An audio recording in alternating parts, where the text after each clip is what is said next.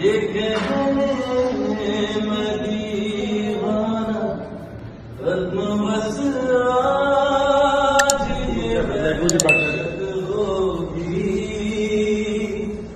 आज रुसवा तेरी गलियों में मोहब्बत होगी